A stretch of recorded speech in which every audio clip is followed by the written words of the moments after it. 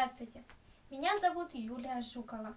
Я хочу продолжить серию видео, которых я запустила. Дело в том, что в предыдущем видео я рассказала о 15 секретах заработка в интернете, а также сказала о том, возможно ли это или нет. В конце я затронула такой нюанс, что работать нужно не отрываясь от дел, как и пишут многие в рекламах рекламируя свою деятельность и зовя каких-либо людей в интернет, ну, в работу, скажем так. Что же означает это такое вот не отрываться от своих собственных дел? Для меня это не то, что, знаете, как а, секретом какой-то я сверхъестественный открывать буду для вас.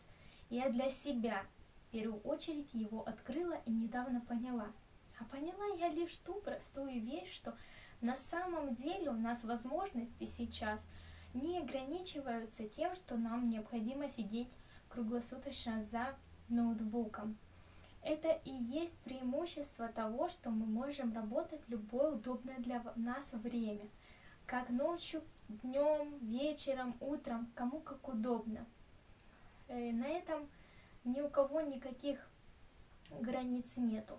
Так вот, я хочу еще сказать о том, что э, мало того, что мы можем работать э, в процессе, когда нам удобно, мы можем это делать современными гаджетами, не только ноутбуками и сидеть за ноутбуком. Нам добровольно помогают гаджеты, то есть это все время под руками у нас телефон. И он реально помогает. Я сейчас скажу такую вещь, что многих людей мотивирует действия других людей. То есть, смотря на других людей, мы идем за другими. Так вот, мы идем за другими, смотря на что? На как раз-таки их путешествия, их э, действия, их достижения. То есть эти люди уже точно не отрываются от своих дел. Они просто живут, выработав некоторую систему, которую предлагают другим людям и которые пользуются ею же. Они уже едут путешествовать, кидают нам фотографии, которые нас мотивируют. Не замечали ли вы когда-либо это? Вот если вы замечали, вы можете просто выключить это видео и не засорять себе мозг другим какой-то информацией, другой какой-то, то есть мною и моим мнением. Но для меня недавно открылась эта простая, казалось бы, истина. То есть высшие гуру бизнеса едут куда-то в Сингапур, едут на Бали, едут в Индию, Турцию, Египет, еще какие-то другие страны и фотографируют нам оттуда красоты.